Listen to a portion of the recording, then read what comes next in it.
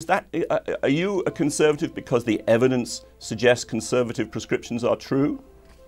Yes, uh, heavens, I was a I was a Marxist in my 20s.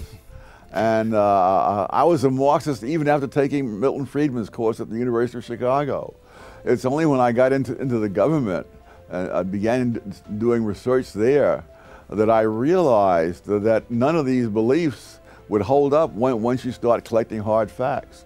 And over the years, as more and more hard facts turned up, uh, then more and more of things that I believed before uh, turned out to be unsustainable. Right.